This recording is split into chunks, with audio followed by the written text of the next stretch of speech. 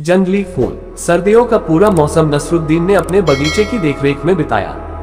वसंत आते ही हर तरफ़ मनमोहक फूलों ने अपनी छटा बिखेरी। बेहतरीन गुलाबों और दूसरे शानदार फूलों के बीच नसरुद्दीन को कुछ जंगली फूल भी झांकते दिख गए।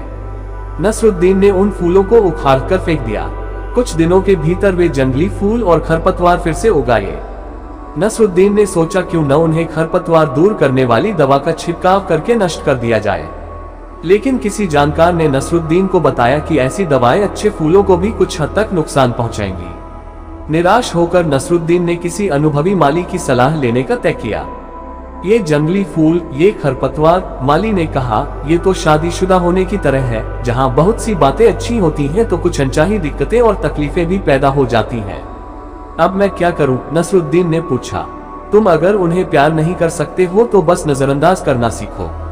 इन चीज़ों की तुमने कोई ख्वाहिश तो नहीं की थी, लेकिन अब वे तुम्हारे बगीचे का हिस्सा बन गई हैं।